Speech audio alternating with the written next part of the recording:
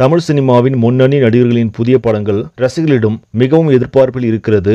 அப்படி ஞானவேல் ராஜா தயாரிப்பில் சிவா இயக்கத்தில் சூர்யா நடித்துள்ள கங்குவா படத்திற்கு ரசிகர்கள் மத்தியில் பெரிய எதிர்பார்ப்பு காத்து கொண்டிருக்கிறது.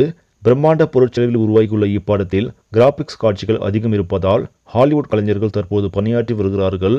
இதில் நாயகியாக பாலிவுட் நடிகை திஷா பதானி நடிக்கிறார். தீபாவளிக்கு வெளியாக உள்ள இப்படம் குறித்த தயாரிப்பாளர் தனஞ்செழியன் ஒரு பேட்டி கொடுத்திருக்கிறார். அவர் பேசும்பொழுது கங்குவா படத்தின் சில காட்சிகளை நடிகர் அஜித் பார்த்து மகிழ்ந்தார்.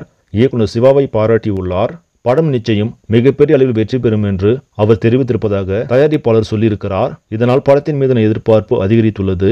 இதற்கிடையே அஜித் குட் பெட் அக்லி படத்திற்கு பிறகு சிறுத்தை சிவா இயக்கத்தில் நடிப்பார் என்ற பேச்சும் அடிபட்டு கொண்டிருக்கிறது. சரி நம்பர்களை பொறுத்திருந்து பார்ப்போம். கங்கோவா திரைப்படம் எப்படி இருக்க போகிறது என்று இந்த செய்தி உங்களுக்கு பிடிச்சிருந்தா லைக் பண்ணுங்கள் ஷேர் பண்ணுங்கள் மறக்காமல் நியூஸ் தமிழ் சேனலை சப்ஸ்கிரைப் பண்ணுங்கள் அடுத்த வீடியோவில் சந்திக்கலாம். நன்றி.